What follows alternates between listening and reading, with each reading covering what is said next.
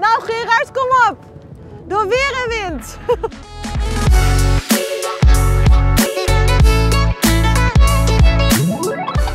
Hey Gerard, Goedemorgen. ben je er klaar voor? Ik ben er klaar voor.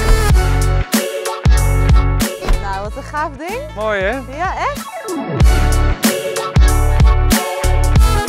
Waarom ben je nou eh, postbezorger geworden? Ja, weet je, je bent de hele dag in de buitenlucht. eh, je bent zelf verantwoordelijk voor je wijk. En het is gewoon een stuk vrijheid. Dit is het depot. Hier komt 's morgens eh, de post binnen. Nou, maar sommige mensen hebben ook dan gewoon een eigen fiets. De fietsen die hier staan. post erin. De hondenbrokjes. Je komt natuurlijk heel veel eh, honden tegen. Maar als jullie dan aankomen bij, bij de mensen waar jullie bezorgen, dus ze kennen jullie echt? Eigenlijk wel. Als je eh, elke dag dezelfde route rijdt, dan herkennen ze je. Je wordt op de koffie gevraagd. En, eh, Ja. Ja, en ga je dan nog op de koffie? ja hoor.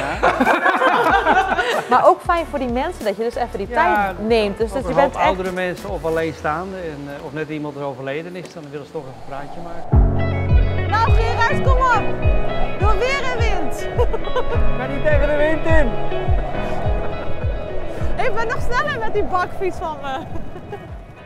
Ik geniet elke dag. Je weet, we maken allerlei weersomstandigheden mee. Ja, dat zien we. Maar ja, een nat pak is maar een nat pak, hè? Maar eh, je zei van, nou ja, ik was eerst eigenlijk accountant. Ja.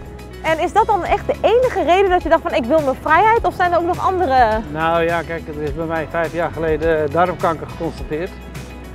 En dan ga je toch eigenlijk eh, iets anders tegen het leven aankijken. Wat is nou nog allemaal wel belangrijk? Ik, ja, ik wil toch eigenlijk nog wel, eh, wel graag werken, maar wel dan met plezier en de dingen die ik echt leuk ga vinden. Ja, en toevallig kwam dit dan op mijn pad eigenlijk. eh.